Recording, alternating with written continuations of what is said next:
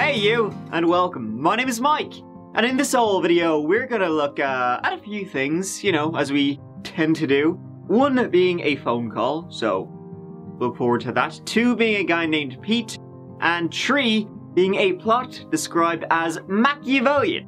So, sign me up. Stash twirl time. Can't grow one. We're going to Kansas City today. Uh, not the one not in Kansas, the one that is, which is not confusing at all. And we'll look at a story that took over a decade to resolve.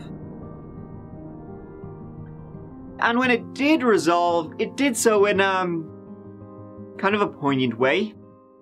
It's bananas. So, uh, let's give it a go.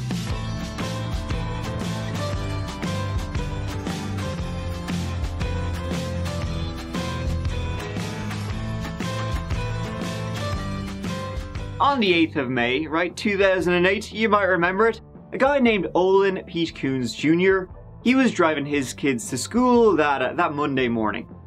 Pete, born in 1957, was a family man, proud husband to Dee, and dad to five children. Two of them were in the car, Melody and Ben, and Pete was very happy to spend a little extra time with his son and daughter as he drove them to school. This seems like a nice story. What happens next? That particular morning, as he was driving through the streets of Kansas City, Kansas, he was pulled over by the, by the police, by the popo, who were armed to the teeth. Pete was arrested.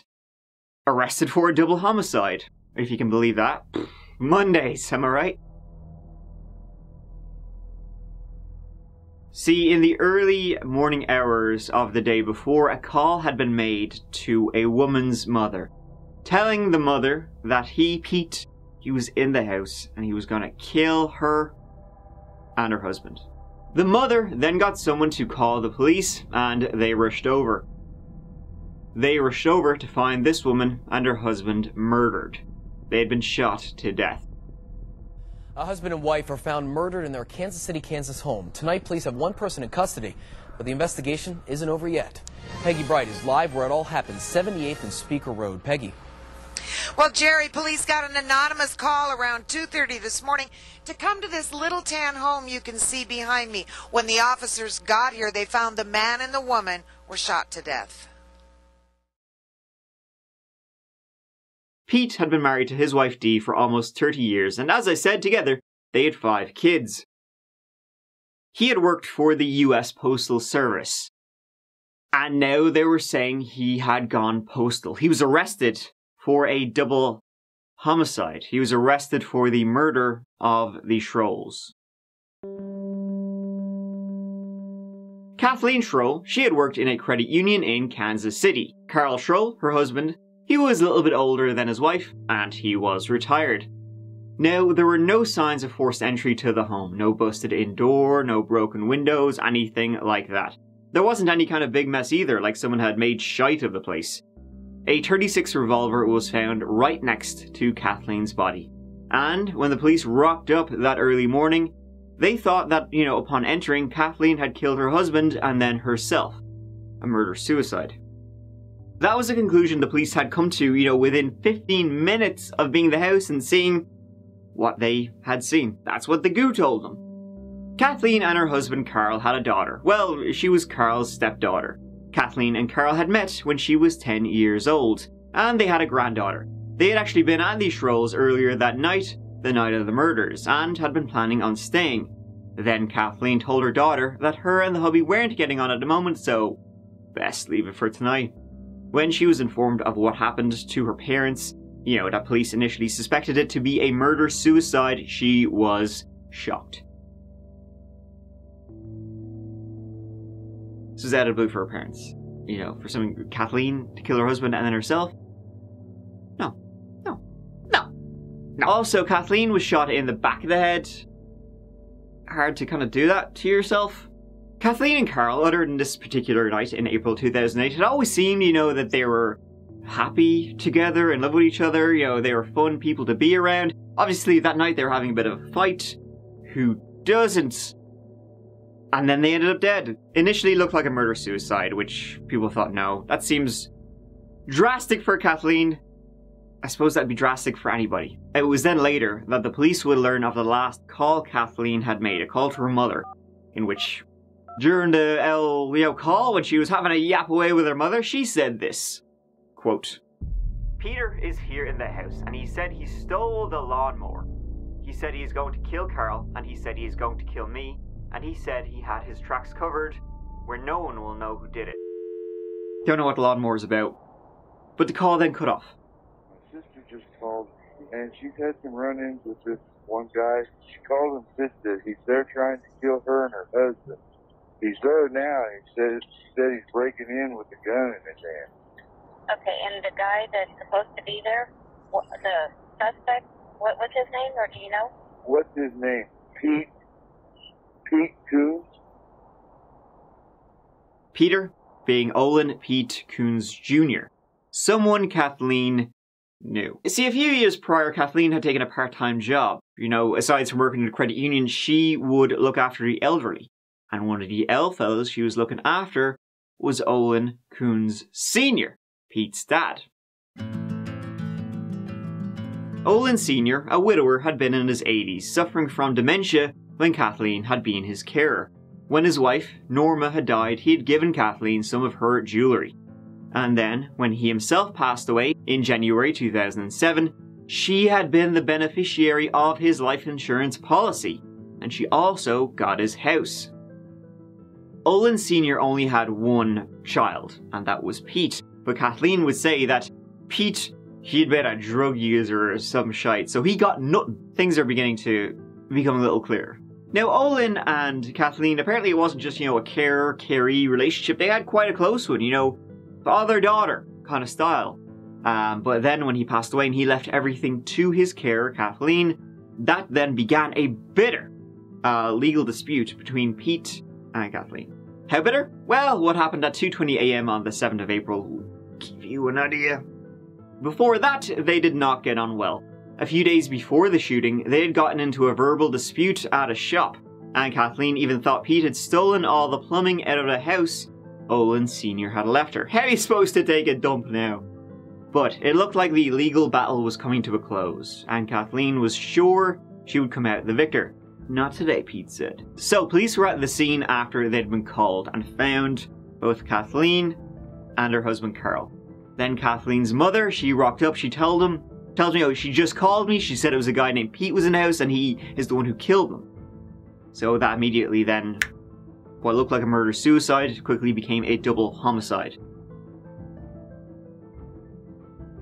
And so it was the next morning, the 8th of April, as Pete was driving his children to school, they arrested him. The police then searched his house, his computers, his everything.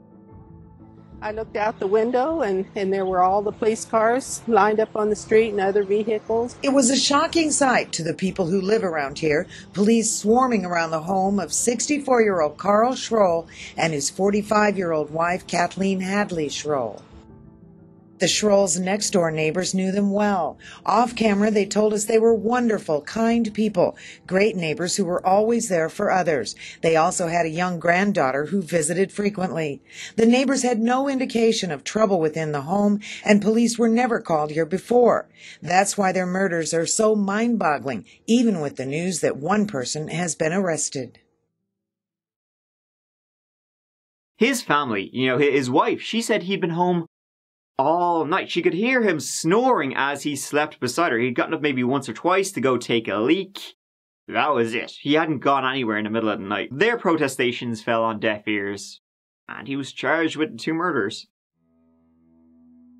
Pete went on trial about nine months later, in January 2009. The motive was the hatred he had for her, that she had stolen his inheritance. They had run ins before, remember he had gotten in her face at the supermarket, and so this was just escalation. He had burst into the house, bet Carl because Carl was found with blood on his face. Then he took the Schroll's gun, shot Carl while he was in bed, and then executed Kathleen with a shot to the back of the head. Kathleen's mother, she took the stand, she told him about the call Kathleen had made before getting cut off. Now his defense was, well, there was there was nothing physically linking him to the scene.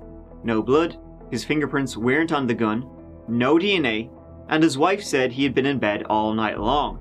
His daughter said she saw him in the house at 2:20 a.m.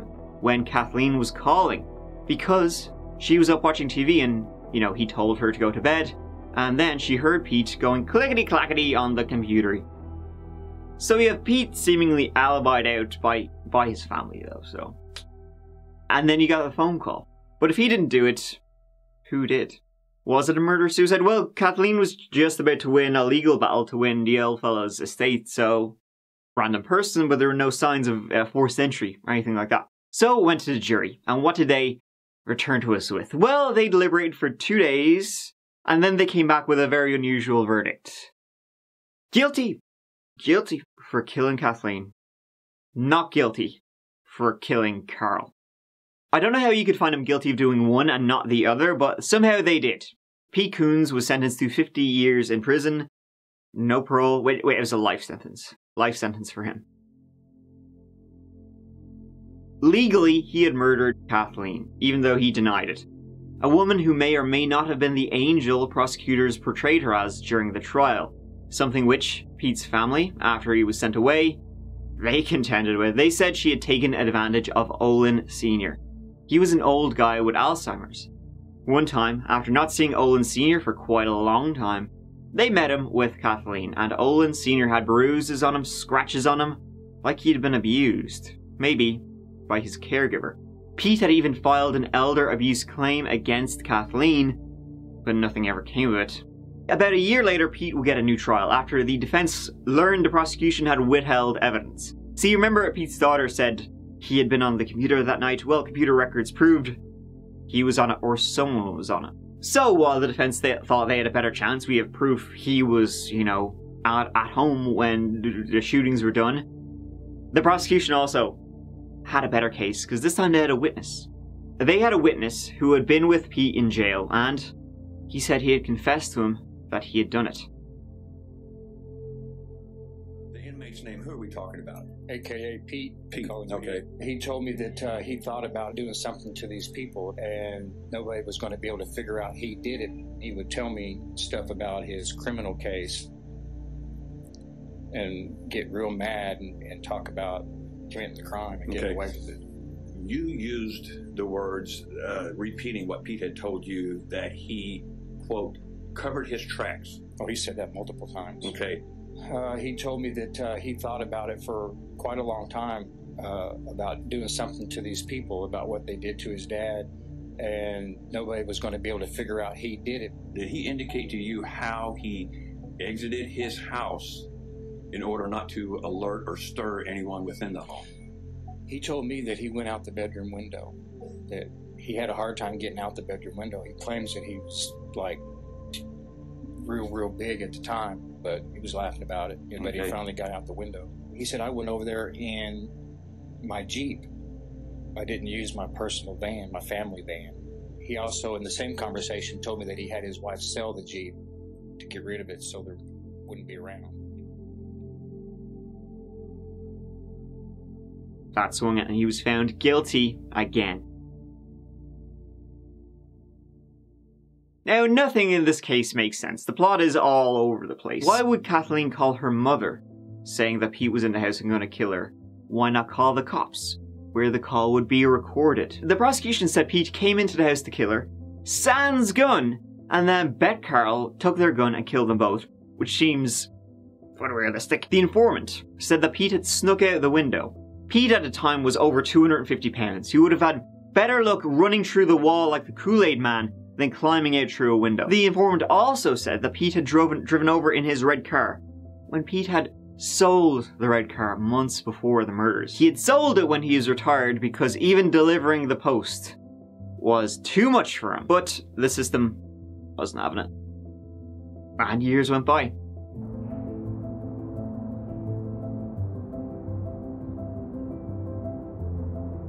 Years until 2018, when a new DA rocked up and began a conviction integrity unit, checking for wrongful convictions. And Pete wrote a letter. A few new things were revealed by the various attorneys and the Midwestern Innocence Project. Carl had a bloody face that night, and it was assumed Pete had beaten him upon the head. But then another bullet was found, so it looked like Carl had actually been shot in the face and the bullet scraped his face. So there was only injuries from a gun, is the point. A gun, though, that didn't have Pete's DNA or fingerprints on it. But it did have Kathleen's. On her left hand was found to be gunshot residue. The jailhouse informant would later admit he had lied. He had lied, uh, hoping to, you know, get a reduced sentence. And it would also come out later that the prosecution had forced him to confess. They knew he was a uh, like an untrustworthy witness, but they had forced him to testify and threatened him that they would give him more years if he didn't. And then a couple of things about Kathleen uh, came out. Pete had been right. She'd been taking advantage of Olin Sr. And she knew it, Pete knew it, and the law would soon know it. Kathleen was not just, allegedly, physically abusing Olin Sr. She was financially abusing him too. She began cutting him off from his family and controlling his finances. A year before Olin Sr. passed away, in a six month time frame, over $28,000 in checks had been made out to Kathleen from Olin. $12,000 had been withdrawn from his accounts. He'd gotten a new credit card, and Kathleen had also been added to the deed of the house. The bank later froze his account because of suspicious activity, but by that stage there was nothing left. Then, Kathleen had been made the beneficiary of his life insurance, something that had been done without the power of attorney. Pete was suing her not because, you know, he was pissed he had been left out of the will. He was suing her because she was abusing his dad. None of this came out during the trial. The jury did not learn of any of this. And it turned out that Olin Sr. wasn't the only person she was frauding and embezzling. No, not her. Her job the credit union, she had taken almost 12 grand from them, falsifying checks. And this was all going to come out in that suit. So, with the walls closing in, she framed Pete Coons. She killed her husband. She then called her mom. The call was real because call already proved it. Called her mom saying Pete was there, and then she killed herself to make it look like she had been executed. The police had been right from the start. It was a murder suicide. And then, with Pete in jail, all of Kathleen's assets would go to her daughter. What a plot. You know, framing the son of the guy you've been stealing from out of pure spite. It's a good one, but not in a good way. I think they make mistakes with everybody. There's good police work and there's not so good police work. And I can even understand how sometimes an overload of work causes people to do less than a perfect job. I just hate the fact that they did less than a perfect job and cost me so much of my life. I believe that uh, the police, after they heard that phone call, said, We've got the guilty guy, we're not looking any farther. I don't think they ever did. I know I'm innocent as long as everybody else finds out I'm innocent, we'll be just fine. With all of this, there was a third trial, and this time it went well. In November 2020, Pete Coons was a free man. And as such, today I told the court that we will dismiss this case and not be requesting a new trial. And Mr. Coons, I believe, is in the process of being released and will be able to go home today. Today was a good day. Justice was served. Anybody. I don't. Uh,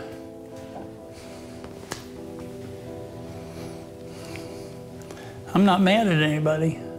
I was sure I would be. I never thought I was coming home. I was sure hopeful. I prayed for it all of the time. I didn't need a miracle, I just needed the truth. And I got a miracle of truth. So that's a double blessing. I am so perfectly content with my decisions that I can sit here in this chair now and tell you I was offered a five year plea deal. And I didn't take it. And I sure would have liked to have went home, but I would have been a felon forever, and I would have had to say I did something I didn't do. A few years down the road, it's just a speed bump in the rearview mirror. But by that stage, he was a sick man. He had cancer. A lung cancer that had gone undiagnosed and untreated while he was in prison. And so, 180 days after being released from a prison he had wrongly spent 12 years in, on the 21st of February 2021, at just 64 years old, Pete Coons passed away.